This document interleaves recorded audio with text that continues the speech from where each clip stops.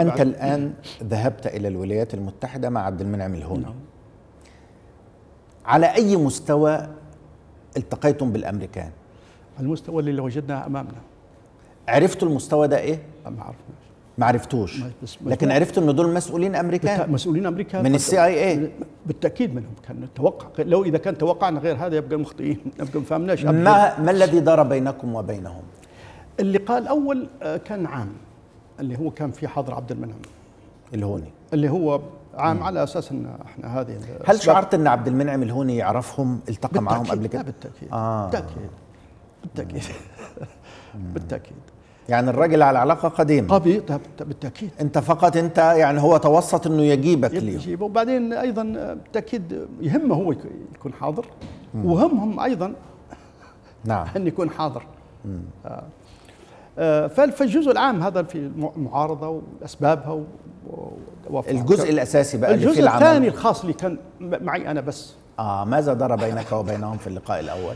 فكان عندهم سؤال أساسي وحيد يعني يكاد يكون وحيد يعني بالإضافة ما هو؟ يعني هو هل أنت من الإخوان المسلمين؟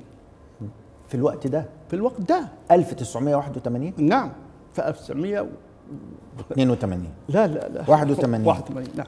واحد- يونيو 81. نعم. قبل تأسيس الجبهة أنا كان تحركي لعند هذه المرحلة كلها شخصي. شخصي. آه، فكان آه، فقلت لهم آه، أنا لست على علاقة بالإخوان وليست لي أي علاقة بأي تنظيم إسلامي أو غير إسلامي.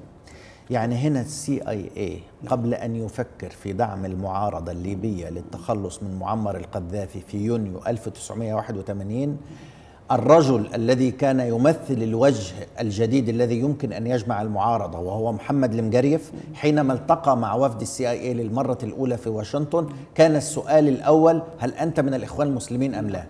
وأنا أعتقد أن طوال المرحلة ولحد الآن ربما كان دائما يحاولوا أن يجدوا أي مثلبة في إجابتي هذه. ما يثبت أني أنا كنت كاذب بالنسبة لهم في هذيك اللحظة. لكن هقول لك ال- ال- ال- بقية إجابتي. طبعا. بس قلت لهم أنا بودي أن نقول لك ناكد لكم على جملة أشياء تتعلق بشخصي أنا. أني أنا شخص أؤمن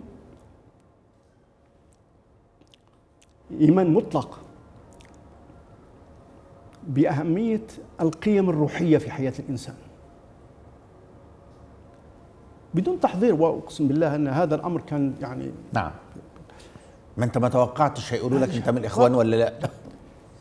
فأؤمن إيمان مطلق. ولولا هذا الإيمان عندي أنا ما كنت أثناء وجودي في ليبيا في رئيس ديوان المحاسبة أني أقارع ولا أقف ضد القذافي بالطريقة اللي قفت بها وأني أنا أنجو من الوقوع في في في فخ الفساد اللي كان موجود ومنتشر نعم. هذا بسبب أيضا